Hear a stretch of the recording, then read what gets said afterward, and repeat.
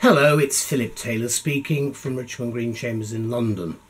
Now, this morning I'm looking at a book in family law proceedings. It's an important book, I think, for anybody at the young bar and certainly people who are beginning either their uh, overall practice as lawyers or they've come into the family law jurisdiction having done other things. Now, this book I think is very important. It's called Evidence in Family Proceedings by David Burrows, and it's come to us from LexisNexis, who took over the family law imprint from Jordan Publishing, and that's actually where the book originated from.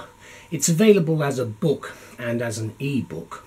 And Elizabeth and I gave uh, the title for our book review the following An Essential Advocacy Guide for all involved in family hearings, especially lawyers new to this jurisdiction. Now let's have a look at the book first of all. There it is. You see the front of it there, and the spine, and then the back. There's a little bit of blurb on the back which I've used partly in the review, but I've given it my own particular opinions now the index is on paragraph numbering, which is a lot easier in some ways to find things. And then after you have the index there, and then you can see the body copy of the book itself, which I'll just opened up. Chapter 19, Children, Views and Evidence. You can see the paragraph numbering at the sides, and you can see the footnoting. There's not too much footnoting, but there's enough, which I think is very helpful. there is the front page. And there's the detail about the book itself. And then there's a preface. Now, Mr. Burrows spends a lot of time on precedent in his preface, dated the 12th of September 2016. It's worth reading, and I've quoted a little bit from it. But um, he does actually place a great deal of emphasis on the, uh, the, the uh, subject of precedent itself. Now, we then move on to the contents section, and you can see it covers a, a wide uh, range of areas. Um, expert evidence is particularly relevant, I think, in chapter 10 for quite a lot of trials. And we go on there, you see the detail contents section um, as we go through the work. Um, there we go, we get towards the end now. Uh, public interest immunity, chapter 21, is the last chapter. then we move on from that to the table of cases themselves. This is a, a sort of case-rich substantive law area, so there are a large number of cases which are referred to, and it's set out alphabetically. And then after that, you have the table of statutes, and then some statutory instruments, of course. Excuse me. And then you start the the basic beginning of the book. Chapter 1, the introduction, evidence and the law on family breakdown and family proceedings. And I did think this was an important book, not just from the point of view of the practitioner, but in this day and age more so with the litigant in person, the unrepresented party, of which there are a very large number in this particular area now that uh, legal aid has all but disappeared in many areas. now, what do we say about this book? Well, the author of Evidence in Family Proceedings, that's the uh, title of the book, is a solicitor advocate called David Burrows, and he declares that the present mainstream books on evidence don't include coverage of certain features which are unique to family law. So his mission then is to fill the gap and cover such important family law areas as the special law and procedure on hearsay, which apply, and other specialist family law rules of evidence, and I indicated uh, expert evidence in particular.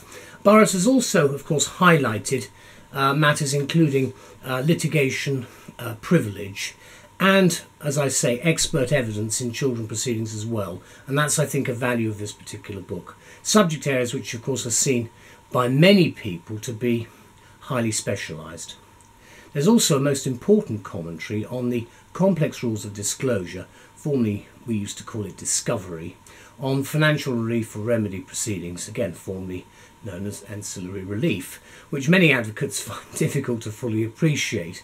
And one can understand why when some areas of our activities have been renamed, of course generally for a good reason.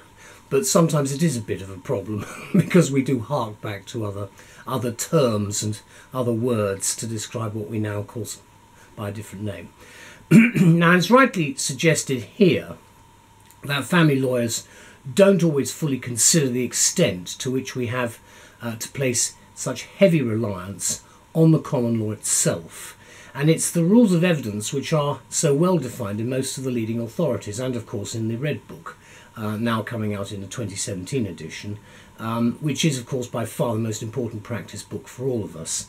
And what is most useful about Burrows' book for lawyers uh, is that this book harmoniously blends in as a useful supplement to the rules set out formally in the Red Book, which many will probably find initially quite daunting. So you have this easy expertise here on hand from Burrows. And I, I would point out, which I haven't said in the written uh, review, that there is a lot of emphasis on case law, but quite often I, I would suggest that some of it's a bit superfluous. Uh, I've certainly found in practice that it's not a good idea to overload your submissions with case law. Uh, but it's a matter of personal opinion. I do think the eyes of the judge can glaze over quite quickly, so do be aware of that. Now, the title is fundamentally an important hands on specialist title, very up to date for practice and for advocacy tips, and to consolidate the general rules of evidence as they apply to family matters. And Burrows covers the range of rules which apply specifically to family proceedings in a clear and concise manner to save us time in court, and he certainly does that. It's probably the most useful statement which one will read in the preface is the motivation for this book, because Burrows writes that the powers of judges in family law are regulated extensively by statute. This includes their powers to deal with children, while inherent powers to deal with wardship dwindle correspondingly, uh, to orders that children be taken into care and adopted, and that marriages or civil partnerships be dissolved and property be distributed on dissolution. And he concludes with these words By contrast, many of the principles by which judges operate statutory powers are governed by rules which go beyond the family procedure rules of 2010 and can only be found in the common law. Well, he's, he's right about that, but as I said, word of warning do be careful with the amount of case law that you submit.